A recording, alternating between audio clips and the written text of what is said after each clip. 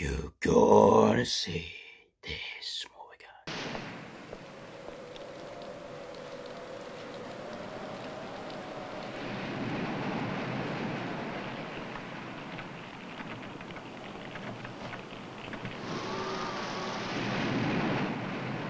This movie will give you stunning visuals of Paris, a credible role from Alain Delon as a superintendent, a man that usually plays gangsters.